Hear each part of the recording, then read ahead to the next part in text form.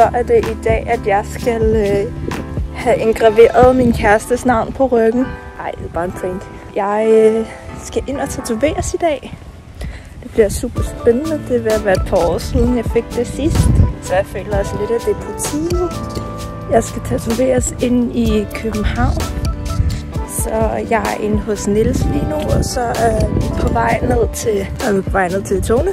Jeg tror muligvis, at, øh, at jeg finder noget at spise og noget at drikke i 7-Eleven nede på stationen, for det der toastbrød, det er noget, jeg kun har spist tre bidder af. Og jeg er simpelthen det dårligste menneske til at spise morgenmad. Det er jo en meget god ting lige at få noget at spise, inden man ligger sig ned for at blive tatoveret. Specielt fordi jeg skal ligge der i et par timer. Så det kigger jeg på, når vi er derhen.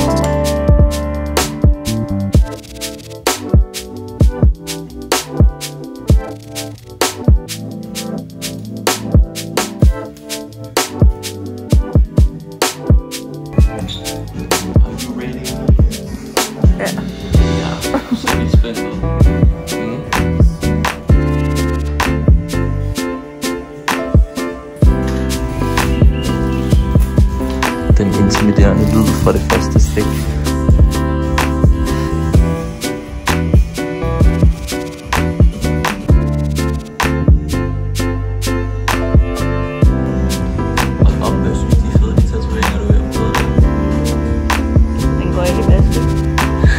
Er går summer det bare.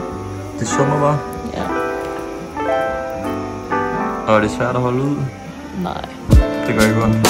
Nej, det er faktisk okay. sono Rubino da Horta. Né?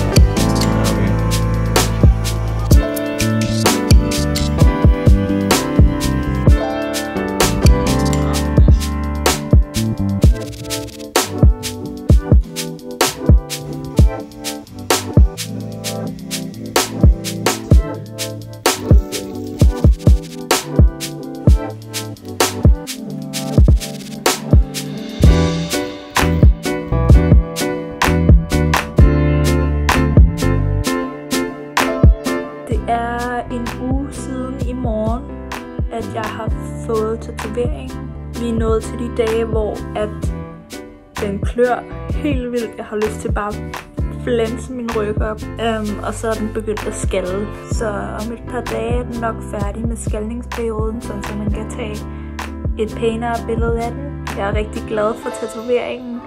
Alex, som tatoverede mig, har gjort et rigtig godt stykke arbejde, og Selve Art Room har været rigtig god at samarbejde med. Jeg havde et design planlagt fra start af med den specifikke tier.